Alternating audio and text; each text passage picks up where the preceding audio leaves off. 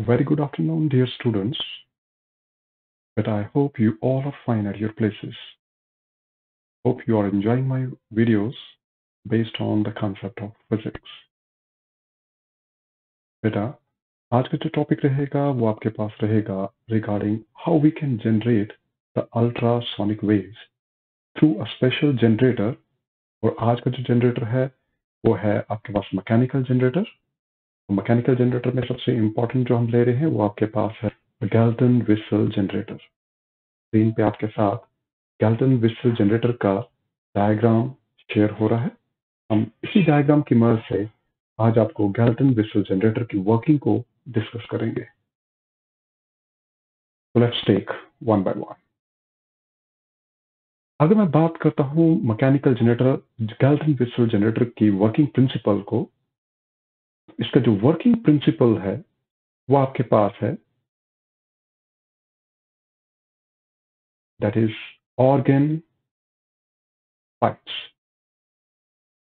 instead of pipe I am actually taking only single organ pipe लेकिन ये organ pipe कैसी होनी चाहिए? Which is a closed ended organ pipe अगर आप देखेंगे, आपने इलेवंथ स्टैंडर्ड लोअर क्लासेस में आपने पढ़ा होगा कि अगर आपके पास कोई ऑर्गन पाइप है, मैं सिलेंड्रिकल शेप में उसको दिखा रहा हूँ यहाँ पर it is open at one end but it is close at the other end मैंने एक सिलेंड्रिकल पाइप दिखाई है, पर लेकिन मैं ज्यूम कर रहा हूँ, ये जो एंड जिसको मैं शेड कर रहा हूँ, ये एंड क्लोज है। ये एंड कौन सा है? क्लोज जबकि दूसरा एंड जो यहाँ पे शो किया जा रहा है and that is a open end. तो आप देख रहे हैं कि आपके पास एक ऑर्गन पाइप लिया गया है, जिसका एक साइड क्लोज है और जबकि दूसरा साइड ओपन है। आपके पास एक ऑर्डिनरी सिंपल एग्जांपल आपके पास जैसे पेन का कैप है। आप पेन के कैप को देखिए, एक क्लोज है, पर लेकिन दूसरी तरफ़ से क्या है? ओपन है। तो आप एक सिंपल पेन के कैप को भी कंसिडरेशन में ले सकते हैं। आपके पास पूरा वर्किंग गैल्टन विसल जनरेटर का इसी ऑर्गन पाइप में जो एयर के मालिक्यूल्स हैं, उनके बिहेवियर से एक्सप्लेन किया जाता है। अब इस गैल्टन विसल जनरेटर को अगर हम डिस्कस करें तो ध्यान रखिएगा, इसके लिए हम डायग्राम जो कंस्ट्रक्शन में ले रहे हैं, वो डायग्राम आपके पास राइट साइड में है तो इस डायग्राम को थोड़ा समझना ज़रूरी है। अब देखिए बेटा, ये जो आपके पास पोर्शन दिखाया जा रहा है, जिस पोर्शन को मैं अभी अंडरलाइन कर रहा हूँ आप देखिए टॉप पोर्शन पे आपको एन दिखाया जा रहा है कि एन यहाँ पर नोजल को रिप्रेजेंट कर रहा है। N is standing for the nozzle here S one जो हम यहाँ पर शो कर रहे हैं ये आपके पास किसी स्क्रू को रिप्रेजेंट कर रहा है। वो स्क्रू जिसको हम अगर लूजन करें तो हम इस पूरी अरेंजमेंट ये जो आपके पास हमने एक पाइप लिया है, जिसका एक एंड नोजल है, और दूसरा हमने एंड सी लिया है इस पूरे पाइप को हम वर्टिकली हम मूव कर सकते हैं। इधर vertically downward or can be move vertically upward means इसको वर्टिकल मोशन में अप या डाउन मूव किया जा सकता है, पर लेकिन इसको अप एंड डाउन मोशन जो आप दे सकते हैं it can be given to that particular arrangement only if if we loosen the screw S one तो एस वन स्क्रू की एडजस्टमेंट करके ही हम इस पूरे हिस्से को अप या डाउन कर सकते हैं। इस पोर्शन में जो एन है एन नोजल पार्ट प्ले कर रहा है, ये वो पार्ट है जो आपके पास हेल्प करेगा इन blowing the air.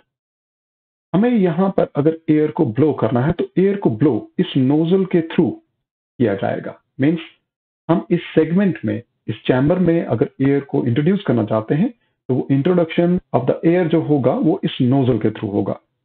And that particular air comes out of what? Out of the section C ये सेक्शन सी से बाहर निकलेगा। सेक्शन सी जो हम यहाँ पर दिखा रहे हैं एयर के मालिक्यूल जो है, वो आपको सेक्शन सी से बाहर की तरफ़ आएँगे। मैं यहाँ पर रेड पेन का यूज़ कर रहा हूँ। सेक्शन सी से आपको एयर के मालिक्यूल बाहर आएँगे। अब इसी डायग्राम को थोड़ा सा वो बेटर तरीके से अंडरस्टैंड करने के मैं इस डायग्राम को थोड़ा सा साफ़ कर देता हूँ ताकि आप क्लैरिटी के साथ इसको समझ सकें। अब देखिए बेटा हमारे पास एक और सेगमेंट है, जिसको हमने एल सेगमेंट के साथ रिप्रेजेंट किया है। ये भी हमारे पास एक ऑर्गन पाइप ही है, क्योंकि हमने ऑर्गन पाइप के बेसिस पे ही पूरा वर्किंग दिखाना है, ये भी ऑर्गन पाइप है। और लेकिन ऊपर वाली ऑर्गन पाइप और लोअर ऑर्गन पाइप में फ़र्क क्या है? ऊपर वाला ऑर्गन पाइप जो है, वो ओपन एट बोथ हैंड है। ओपन एट बोथ हैंड या open at both hands but the lower organ pipe is of the pipe which we have to use during the operation of the mechanical generator. तो lower pipe रखेंगे तो इस lower pipe में हमने इसको L से represent किया है एल सिंबल से रिप्रेजेंट किया है। तो इस लोअर पाइप का अपर वाला हिस्सा भी ओपन है। उस हिस्से को देखिए ओपन है, और लेकिन लोअर एंड जो है, वो आपके पास क्लोज्ड है। With the help of a piston ये फ्रिक्शनलेस एयर टाइट पिस्टन है, जो हमने एक तरफ़ लगाया है। तो ये पिस्टन आपके पास क्लोज्ड एंड को रिप्रेजेंट कर रहा है, जबकि ऊपर वाला हिस्सा आपके पास ओपन एंडेड पाइप के हिस्से को रिप्रेजेंट कर रहा है। अगर आप इस ओपन एंडेड हिस्से की बात करें तो आप देख यहाँ पर एक और हिस्सा आपके पास दिखाई दे रहा है, जो ट्राइंगुलर शेप में है। It is just like the shape of a wedge एक शार्प वेज की शेप में ये जो शार्प वेज एज है, इसको बेटा हम यहाँ पर लिप नाम देते हैं। Lip of the lower organ pipe हमारे पास जो ऑर्गन पाइप तो लगी हुई है, पर लेकिन लोअर एंड पे लगी हुई है। तो इसलिए लोअर ऑर्गन पाइप के इस एल को मीन्स ऊपर वाले हिस्से को हम क्या कह रहे हैं? लिप कह रहे हैं। इसको हम शॉर्ट फॉर्म में एल से रिप्रेजेंट कर लीजिए या फिर सिंपली आप कोई भी सिंबॉलिक रिप्रेजेंटेशन इसके लिए ले सकते हैं। अब देखिए बेटा, मैं इस डायग्राम को थोड़ा सा, क्योंकि यहाँ पर मैसी हो गया है, इसको हम हटा देते हैं, ताकि हम इसको डिलीट सकें।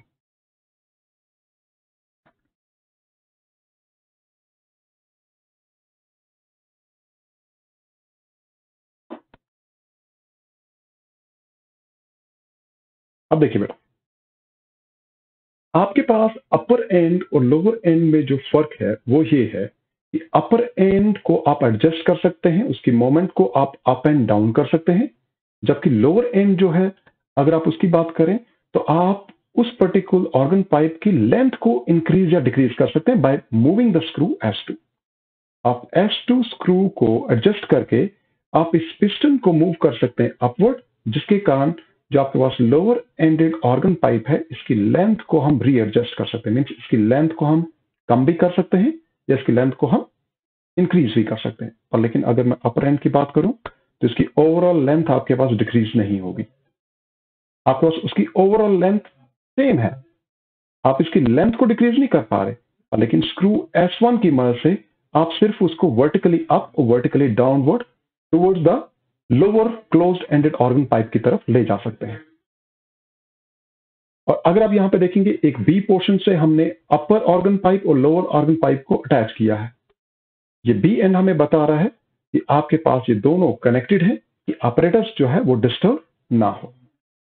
सिर्फ़ हम मोमेंट अपर ऑर्गन पाइप की कर सके और लोअर ऑर्गन पाइप आपके पास अपने हिस्से में क्या रहे फिक्स रहे। अब बात आती है, फिर इस अरेंजमेंट की मदद से आप अल्ट्रासोनिक वेव्स को फिर कैसे जनरेट कर सकते हैं? अब अल्ट्रासोनिक वेव्स को जनरेट करने के लिए हमारा पहला काम होता है कि इस upper open ended organ pipe से हम नोजल के थ्रू क्या करते हैं? एयर को ब्लो करते हैं। या फिर हम कह सकते हैं कि एयर को हम इंट्रोड्यूस कर रहे हैं through this particular open ended organ pipe from the top end जब एयर को आप ब्लो करेंगे into the open ended organ pipe from the top portion तो अब आपके पास वो एयर फाइनली कहाँ से कम आउट होगी? From the C section. It is open here at what? The C section too. अब ये जो एयर के मालिक्यूल हैं, जब आपके पास इस लिप पे स्ट्राइक करते हैं lip of the organ pipe lower organ pipe की लिप पे स्ट्राइक करते हैं तो बेटा आपको पता है कि लोअर पाइप में यहाँ पर भी क्या है एयर के मालिक्यूल्स हैं क्योंकि एयर ने पूरी तरह से इसको क्या कर रखा है इस सेगमेंट को भी फिल करके है जब ऊपर की हवा एकदम से आपके पास इस लिप के साथ स्ट्राइक करेगी तो यहाँ के एयर मालिक्यूल्स भी किसमें आ जाएँगे? मोशन में आ जाएँगे। मीन्स ऊपर की हवा का, इस पर्टिकुलर लिप के साथ स्ट्राइक करने का जो मीनिंग है, वो यही है कि जब आप एनर्जी को इंट्रोड्यूस कर रहे हैं to the open ended organ pipe that is at the lower end तब आपके पास एयर के मालिक्यूल्स किसमें आ जाएँगे? मोशन में आ जाएँगे because they are actually receiving the energy from the molecules from the top end अब आप यहाँ पर क्या हो रहा है, उसको अंडरस्टैंड करने के लिए इस ओपन एंडेड हम क्लोज एंडेड ऑर्गन पाइप को हम दिखा रहे हैं। ध्यान रखिएगा बेटा, ये जो lower ended close organ pipe हमने दिखाई है, उसको मैं अब यहाँ पर दिखा रहा हूँ और मैं यहाँ पर कह रहा हूँ कि एयर के मॉलिक्यूल्स ने इस पूरी ट्यूब को फिलअप करके रखा है। माना कि यहाँ पर मैंने क्लोज एंड दिखाया, पर लेकिन हमने वहाँ पर क्लोज एंड को पिस्टन के साथ दिखा रहे हैं, जिससे हम इसकी लेंथ को इंक्रीज या डिक्रीज कर रहे थे। तो यहाँ पर आपके पास जो क्लोज एंड है, हमारे पास गैल्टन विसल अरेंजमेंट में वो पिस्टन आपके पास काम पूरा कर रहा है। अब आप इसमें बहुत सारे नंबर ऑफ़ एयर के मालिक्यूल्स को बताने की बजाय, अगर मैं सिंगल मालिक्यूल की बात करूँ, मैं एक एयर का मालिक्यूल ले रहा हूँ जो आपके पास ओपन एंड पे है। अब मुझे बताइए, अगर इस ओपन एंडेड हिस्से पे कुछ एनर्जी इंट्रोड्यूस होती है फ्रॉम द टॉप एंड कौन से एंड से? सी से जो एयर के मालिक्यूल्स आ रहे हैं, जब वो इस एंड के मालिक्यूल के साथ स्ट्राइक करेंगे, ऊपर वाले हिस्से वाले मालिक्यूल के साथ स्ट्राइक करेंगे तो बेटा, ये वाला मालिक्यूल फ्री है। जब इसके पास एनर्जी पहुंचेगी तो ये मालिक्यूल फ्रीली इस ऑर्गन पाइप से बाहर भी मूव कर सकता है और इस ऑर्गन पाइप के भीतर भी मूव कर सकता है। तो अगर आप देखें तो यहाँ का मालिक्यूल जो इस ओपन एंडेड हिस्से में है, अगर मैं लेट करता हूँ, ये उसकी मीन पोजिशन है तो ये मीन पोजिशन के about to and fro motion left and right side में कर सकता है। इट मीन दिस मालिक्यूल कौन सा मालिक्यूल जो मालिक्यूल मैं यहाँ पर रिप्रेजेंट कर रहा हूँ तो सेंटर में हमने रिप्रेजेंट किया, बाहर की तरफ़ मैंने सिर्फ़ डायग्राम रिप्रेजेंट कर रहा हूँ। तो ये मॉलिक्यूल फ्री है? Free to vibrate inside as well as outside as well as outside the closed ended organ pipe तो हम इसके बिहेवियर को दिखा रहे हैं। लेकिन वहीं पे देखिए, जब ये वाइब्रेट करेगा, हमने वेव मोशन में ऑलरेडी आपको बताया है कि ये अपनी एनर्जी को ट्रांसफ़र कर देगा नेक्स्ट एटम या मॉलिक्यूल को। हमारे पास एयर के मॉलिक्यूल की बात हो रही है तो यहाँ पर हम नेक्स्ट मॉलिक्यूल की बात करेंगे अब एनर्जी ट्रांसफ़र होते होते उस मॉलिक्यूल पर भी पहुंचेगा जो आपके पास क्लोज एंड पे लाइक कर रहा है। अब क्लोज एंड पे ये मॉलिक्यूल जो मैंने रेड साइन के साथ दिखाया, जिसको मैं एरो के साथ दिखा रहा हूँ, आप बेटा यहाँ पर देखिए, ये मॉलिक्यूल रिस्ट्रिक्टेड है। ये मॉलिक्यूल रिस्ट्रिक्टेड क्यों है? क्योंकि एक तरफ़ क्या है? क्लोज एंड है। ये मालिक्यूल इस तरफ़ तो वाइब्रेट कर सकता है। लेकिन towards the close end close end वाले हिस्से की तरफ़ वाइब्रेट नहीं कर पाएगा। लेट कीजिए ये मालिक्यूल है। ये मालिक्यूल देखिए, अगर ये क्लोज एंड है, मेरी हथेली अगर क्लोज एंड है और ये मालिक्यूल है तो क्लोज एंड की तरफ़ वो रिस्ट्रिक्टेड है। लेकिन इस तरफ़ वो वाइब्रेट कर सकता है। इसका मीनिंग है, इसका वाइब्रेशन जब रिस्ट्रिक्टेड है तो हम उसकी वाइब्रेशन को रिस्ट्रिक्टेड फॉर्म में दिखा सकते हैं, लेकिन वो मॉलिक्यूल जो ओपन एंडेड की तरफ़ है, वो फ्रीली वाइब्रेट कर रखा है, कर रहा है तो हम उसको फ्री वाइब्रेशन के तौर पर दिखा सकते हैं। अब इसको वेव्स फॉर्म में हम कैसे रिप्रेजेंट करेंगे? वेव फॉर्म में दिखाने के लिए मैं इसी अपर डायग्राम को फिर द्वारा से यहाँ पर दिखा रहा हूँ। मैंने वही क्लोज एंडेड ऑर्गन पाइप दिखा रहा हूँ, जो कि एक तरफ़ से क्लोज है। क्लोज एंड को मैं शेडेड दिखा रहा हूँ, और ओपन एंडेड को मैंने ट्रांसपेरेंट दिखाया अब देखिए, क्योंकि मालिक्यूल यहाँ पर फ्रीली वाइब्रेट कर रहा है तो अगर मैं वेव्स की फॉर्म की बात करूँ तो ध्यान रखिएगा।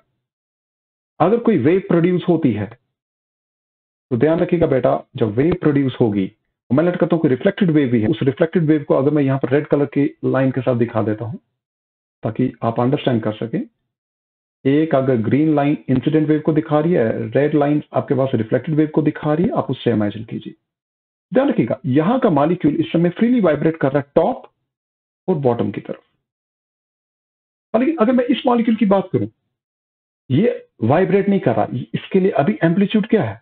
इसके लिए अभी एम्पलीट्यूड ज़ीरो है। लेकिन यहाँ के मॉलिक्यूल के लिए एम्पलीट्यूड इस समय क्या है? इस समय ये एम्पलीट्यूड मैक्सिमम है। इसका मीनिंग है मीन पोजिशन के अबाउट जब मॉलिक्यूल मैक्सिमम वाइब्रेशन कर रहा है तो ये फ्री वाइब्रेशन है। लेकिन वही मॉलिक्यूल अगर मीन पोजिशन के अबाउट क्या है फिक्स्ड है तो मैं इसको क्या कहूँगा? ये वाइब्रेट नहीं कर रहा। इसका एम्पलीट्यूड इस समय क्या है? ज़ीरो है। तो मुझे बताइए अबव केस में, इस ऑर्गन पाइप के केसेस में, वो मॉलिक्यूल जो यहाँ पर था, वो रिस्ट्रिक्टेड था, वो इस पोजीशन को रिप्रेजेंट करेगा, जहाँ पर एम्पलीट्यूड क्या था? वहाँ पर एम्पलीट्यूड ज़ीरो था।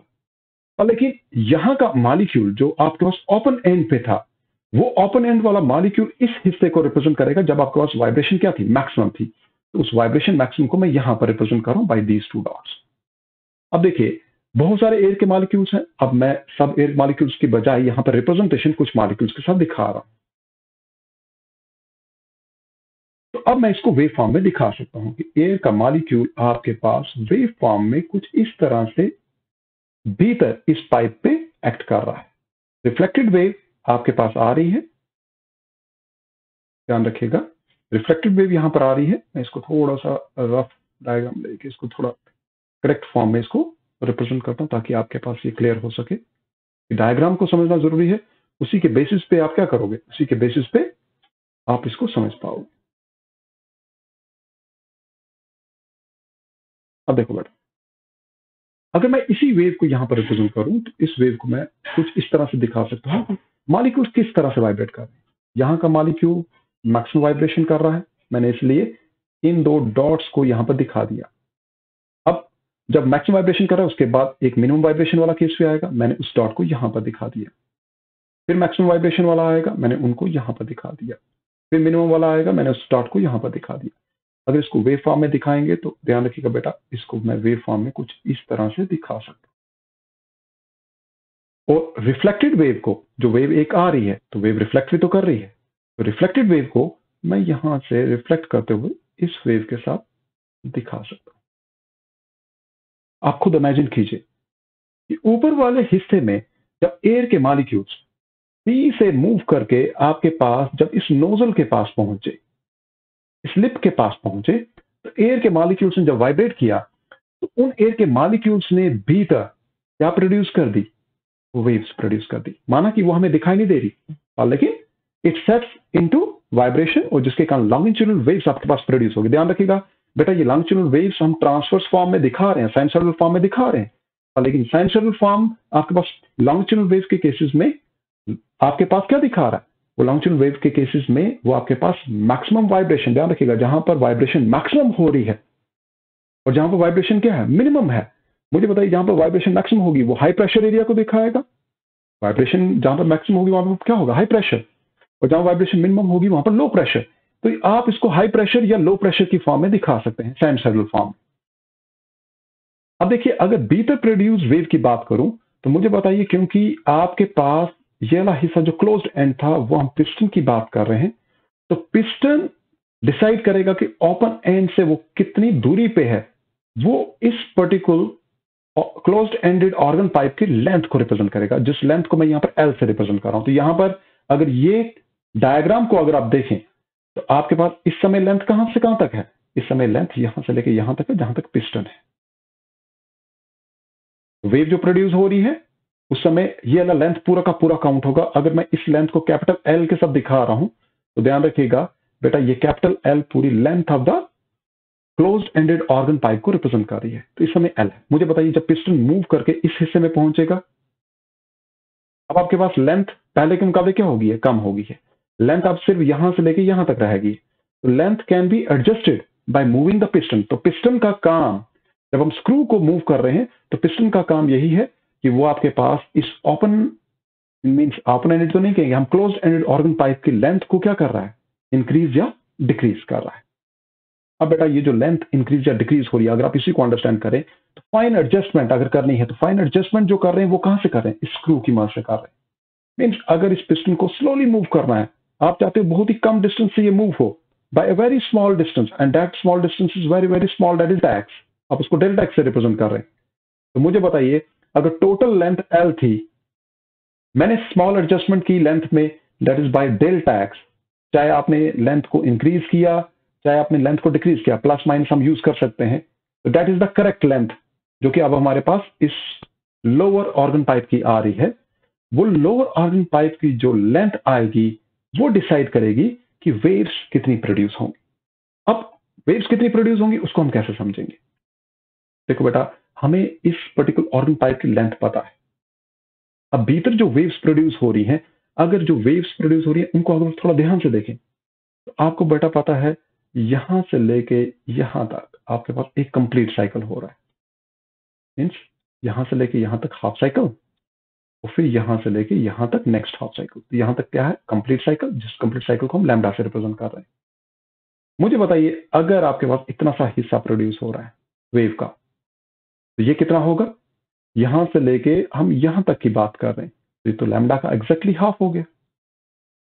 और अगर मैं कह रहा हूँ, सिर्फ़ यहाँ से लेके यहाँ तक वेव प्रोड्यूस हो रही है, इस ऑर्गन पाइप के भीतर तो हम कह सकते हैं, वो इस लैमडा बाई टू का भी क्या हो गया? हाफ़ तो इसका मीनिंग है half of lambda by two means lambda by four हो गया। तो हम कह रहे हैं कि जब आप नोजल एंड से एयर को ब्लो करेंगे और आपके पास वो एयर जब सी से कम्स आउट होगी मीन्स बाहर निकलेगी, जब स्ट्राइक करेगी lip of the this close ended organ pipe और यहाँ के एयर मालिक्यूल्स को जब क्या करेगी, आपके पास वाइब्रेट करेगी तो इस क्लोज एंडेड ऑर्गन पाइप कौन सा ऑर्गन पाइप जो नीचे वाले हिस्से में मैं दिखा रहा हूँ? बेटा, वहाँ पर वेव्स प्रोड्यूस हो जाएँगी। कौन सी वेव्स प्रोड्यूस हो जाएँगी?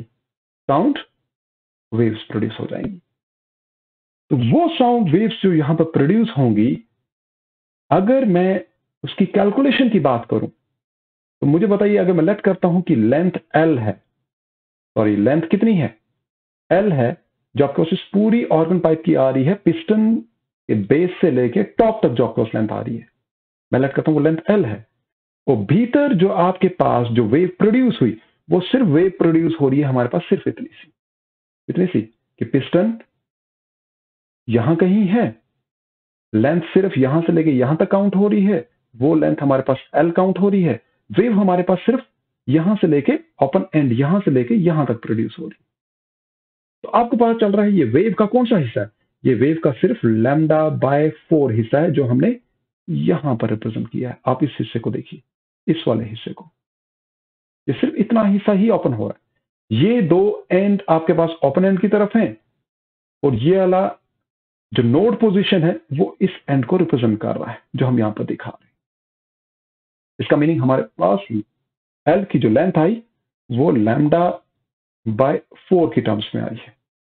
लेकिन हमने कहा कि आपके पास ये जो वैल्यू हम निकाल रहे हैं लेंथ जो हमने निकाली थी, इसमें हमने स्लाइड करेक्शन भी किया था। वो करेक्शन बाय था बाय डेल्टा एक्स तो आपके पास इस वैल्यू से लैम्डा की वैल्यू कितनी हो जाएगी? इसको रीअरेंज कर लीजिए। फोर लेफ़्ट हैंड साइड में न्यूमरेटर के साथ मल्टीप्लाई हो जाएगा और ये बन जाएगा four times that of L plus delta X बेटा, यहाँ पर जो डेल्टा एक्स है, ये आपके पास क्या बता रहा है?